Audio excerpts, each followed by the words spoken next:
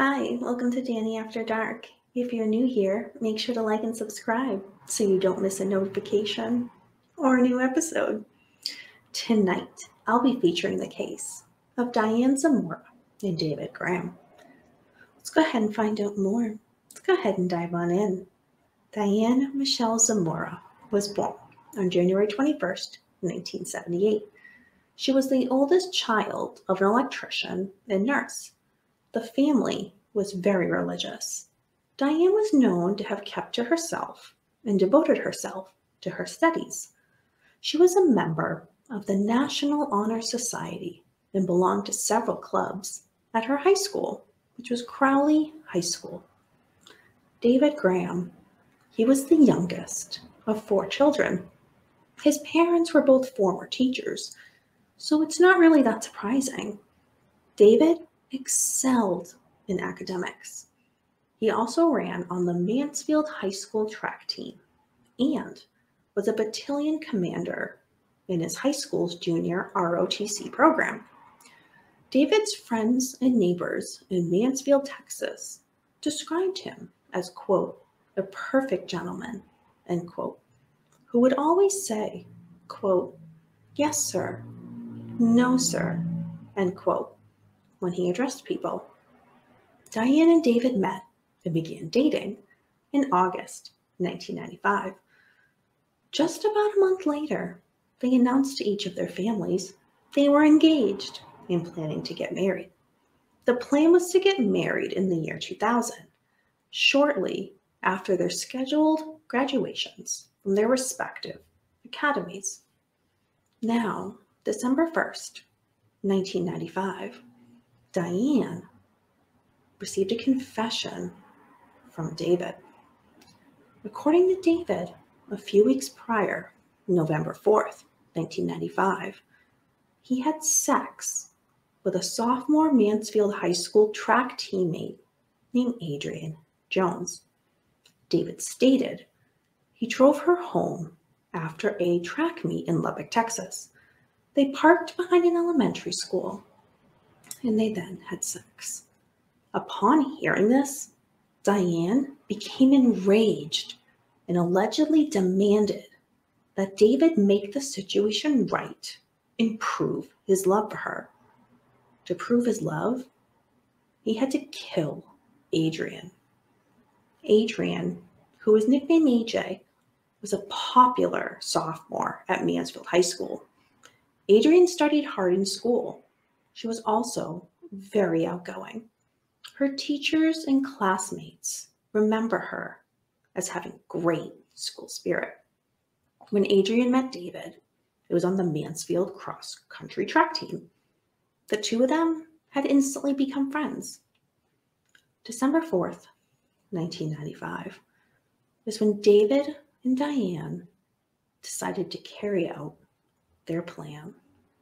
Around 10:30 p.m. that night, David called Adrienne to arrange a date. Adrienne snuck out of her house to meet up with David, who picked her up outside. David then drove them to a deserted road near Grand Prairie, Texas.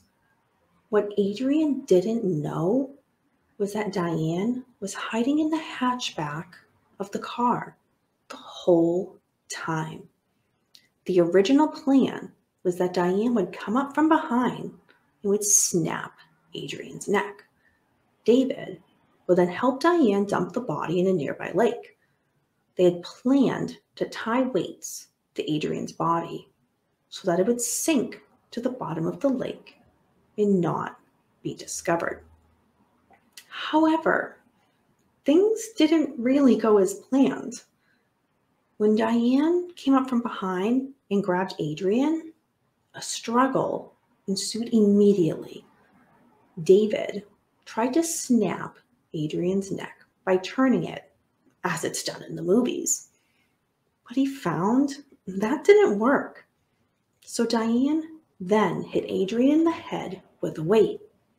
But Adrienne somehow managed to get out of David's car and started to run away. According to David's confession, Diane told him He could not let Adrienne get away. So David, who had brought a gun, took it out of the truck with him and shot Adrienne down in the field twice in the head. When he returned to the car, Diane and him exchanged I love yous. They then disposed of their bloody clothes and went home. Adrienne Jones's body was discovered the next day. The investigation tried to determine who would have done this to Adrienne Jones, but they hit a dead end and it went cold after nine months. Then investigators got a tip from one of Diane's Annapolis classmates. The informant stated Diane admitted to her that she and David murdered Adrienne after David confessed to her that he cheated on her and had sex. Police searched David's car and found Adrienne's blood splattered inside, also splattered inside the passenger door.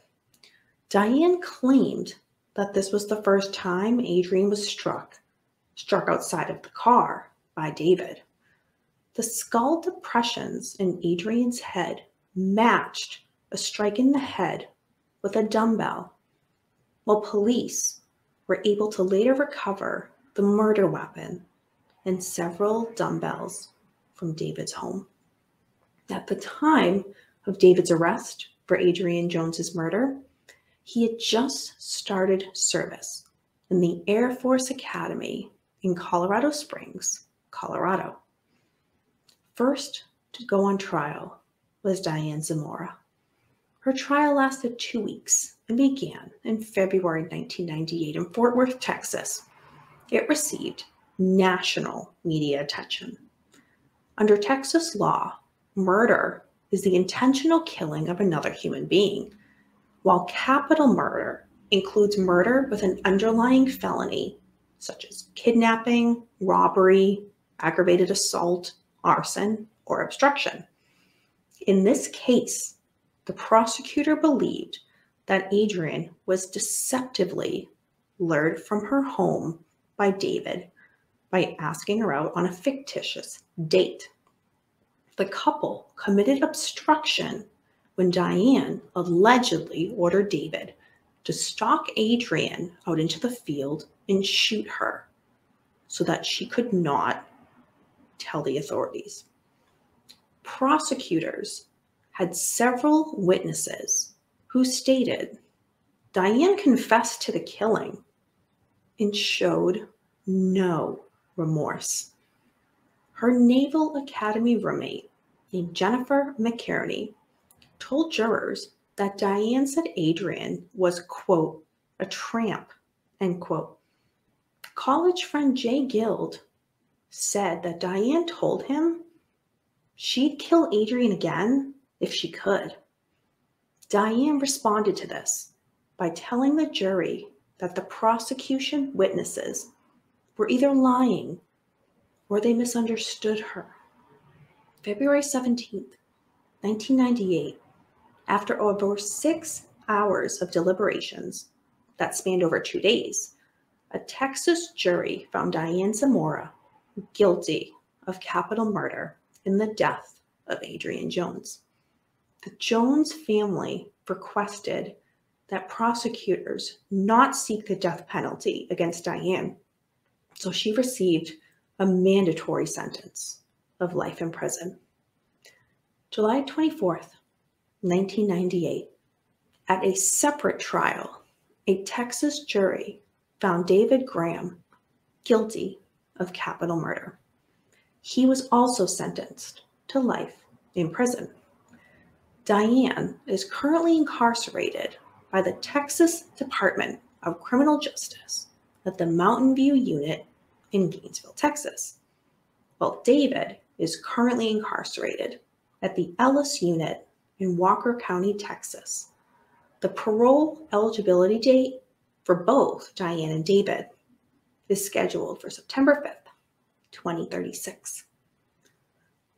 What makes this case have an interesting twist is law enforcement officials who were associated with the case such as the Grand Prairie Police Sergeant Alan Paton, who took Diane's confession, stated that after his research and looking into the case, he stated the sexual encounter between David and Adrienne did not actually happen.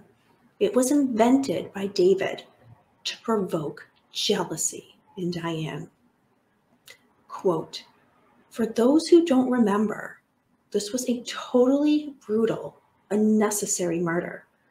David had lied to Diane about an alleged sexual tryst that never happened with Adrienne Jones. If he had said, I was just kidding, I was just trying to make you jealous, Adrienne Jones would still be alive today. End quote. That quote was by Sergeant Alan Paton, the Grand Prairie Police Department. In June 2003, Diane married Stephen Mora, another inmate in a Texas prison. A judge in San Antonio performed the wedding ceremony. Diane's mother and a male friend stood in for the imprisoned couple in the county's first proxy marriage. They were divorced as of 2010. The case became a 1997 made for TV movie called Swearing Allegiance Love's Deadly Triangle The Texas Cadet Murder.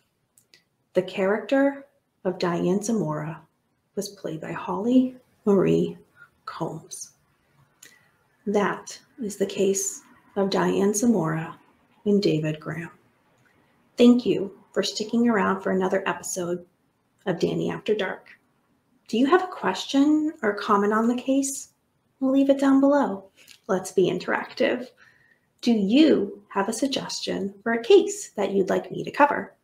Well, leave it down below in the comments, and you may see it featured in an upcoming episode. Until next time, remember, we don't live in darkness. Darkness lives in us.